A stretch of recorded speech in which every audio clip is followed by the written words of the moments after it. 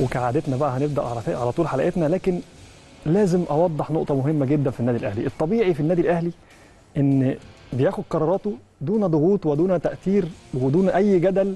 الجدل دايما بيبقى من على السوشيال ميديا من وسائل الإعلام لكن مش من النادي الأهلي. النادي الأهلي بياخد قراراته بعد دراسة متأنية في كل اختياراته وكل قراراته. دايما بتكون مناسبة لمتطلبات المرحلة. مفيش خلاف على إن الكابتن سيد عبد الحفيظ أدى ما عليه طول سنواته في منصبه كمدير كرة النادي الأهلي وهو من أنجح مديرين الكوره في تاريخ النادي الأهلي. ومفيش شك إنه حقق نجاحات كبيرة جدا لكن كمان التغيير هو سنة الحياة. التغيير مش لازم يكون مرتبط بإخفاقات زي ما الناس فاكرة وأسباب رحيل كابتن سيد ومش عارف كلام كتير قوي كده مش مش بتاع النادي الأهلي خالص. ملوش علاقة بالنادي الأهلي خالص بالعكس ممكن تبقى كسبان وتغير لأن ممكن تكون داخل على مرحلة جديدة. أو حاجة مختلفة بمعطيات مختلفة وجديدة جدا يعني. كابتن سيد عبد الحفيظ خرج من الباب الكبير جدا بعد موسم تاريخي وبعد ما أدى كل اللي عليه وهو جزء كبير جدا من تاريخ النادي الأهلي. ولكن أيضا كابتن خالد بيبو دخل من الباب الكبير لأنه واحد من الكوادر الإدارية الناجحة جدا في النادي الأهلي اللي موجودين وتدرجوا في منصب في مناصب عديدة جدا خلال تواجده في فترة النادي الأهلي وفترة طويلة مش قليلة كمان.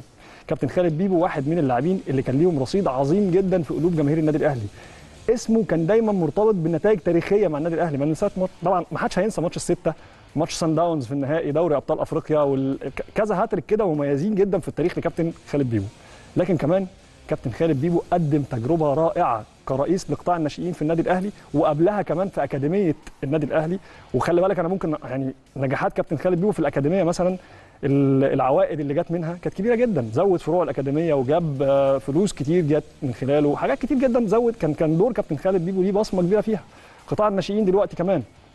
وقطاع الناشئين كان بصمته فيها واضحة بشكل كبير جدا جدا. ووقته في منصب مدير الكورة. جمهور الأهلي واعي طبعا وعظيم. ودايما بيتضرب بيه المثل في دعم فرقته. ولذلك جمهور الأهلي زي ما كان بيدعم كابتن سيد عبد الحفيظ هو دلوقتي الدعم الأول لكابتن خالد بيبو في تجربته الجديدة. كابتن خالد بيبو عنده خبرة إدارية كبيرة جدا وعارف كل كبيرة وصغيرة في فريق النادي الأهلي وبالتالي هو بدأ على طول شغله من أول يوم وبيسعى لبداية مثالية من الناحية الإدارية وكل الأهلاوية بيدعموه. قبل ما اخلص كلامي أنا بس عايز اوضح نقطة مهمة جدا. أنا اشتغلت مع كابتن خالد بيبو شخصيا وعارف شخصية الراجل ده وعارف آه استراتيجياته. كابتن خالد بيبو بالمناسبة بيعمل ماجستير في التجارة وهو أحد خريجي جامعة عين شمس كلية التجارة. وفاضل له في الماجستير فقط مشروع التخرج. كابتن خالد بيبو امتياز في سنتين الماجستير. عشان أنا قريت النهارده كلام مش من المنطقي إن هو يتقال. واصلا الناس عرفت حاجة غلط. يعني ما أعرفش مين اللي وصل المعلومه دي أو مين اللي قال حاجة زي دي لكن أنا بقول لكم كابتن خالد بيبو ماجستير على وشك انه يحصل على درجه الماجستير. كابتن خالد بيبو واحد من المميزين في الاداره وليه بصمه في كل مكان سواء جوه النادي الاهلي أو بره النادي الاهلي. وأنا اشتغل أنا بقول لكم عن تجربتي الشخصيه مع كابتن خالد بيبو. لا ليه بصمه وبصمه كبيره جدا. أنا كنت اول داعم لكابتن سيد عبد الحفيظ وكابتن سيد عبد الحفيظ أدى دور تاريخي ومن أحسن الناس اللي جت في المكان ده. زيه زي كابتن ثابت البطل زيه زي كابتن طارق سليم زيه زي كابتن وائل جمعة لما كان موجود فترة من الفترات كابتن هادي خشبة. وقبلهم ناس كتير جدا عظام وكابتن حسن حمدي. كان في فترة من الفترات وقت قليل آه لكن كان في منصب مدير الكورة. ومنصب مدير الكورة ده من أهم المناصب في النادي الأهلي. فمش أي حد يصلح يكون مدير كورة. فلما يتم اختيار كابتن خالد بيبو من الكابتن محمود الخطيب دي مش حاجة وليدة اللحظة. ده راجل تم تدرجه. ووصل للمرحلة دي بعد ما شقي في النادي الأهلي في أكتر من مكان. لما تتكلم عن كابتن سيد عبد الحفيظ بتقول في الأول إيه؟ إن هو بدأ في أكاديمية النادي الأهلي. قعد فترة مش قليلة ولكن ما هياش ما كانتش فترة كبيرة قوي في أكاديمية النادي الأهلي وما مسكش الأكاديمية ده كان في فرع الفيوم تقريبا. ولكنه تعلم تعلم كتير جدا وكابتن سيد التدرج المناصب ده شيء أساسي في النادي الأهلي وأساس العمل في النادي الأهلي. كابتن خالد بيبو تدرج في المناصب في النادي الأهلي ونجح في كل المناصب والتكليفات اللي جات له كلها كان قدها.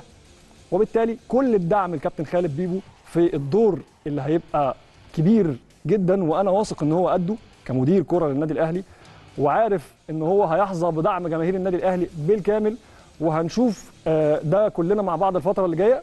وأنا زي ما بدعم أي شخص في النادي الأهلي أنا دوري كمشجع أهلاوي إن إحنا ندعم دورنا كلنا كأهلاوية إن إحنا ندعم النادي الأهلي. النادي الأهلي عامل موسم تاريخي عامل موسم ما فيهوش ولا غلطة.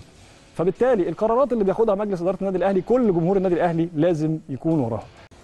ده تاريخ يا جماعة. كان لازم نقول عليه كل حاجة يستحقها ده بخلاف المؤهلات الرياضية اللي معاه ده واحد حصل على دبلومة ال- ال- الإدارة الرياضية دبلومة الفيفا للإدارة الرياضية. ده كمان معاه آه، الكلاس إيه أو الشهادة إيه اللي هي آه، التدريب يعني كمان. فبالتالي هو راجل مش ناقصه أي حاجة عشان يبقى آه، في أي منصب في النادي الأهلي وأهم منصب هو مدير كرة النادي الأهلي مدير كرة فريق كرة قدم النادي الأهلي.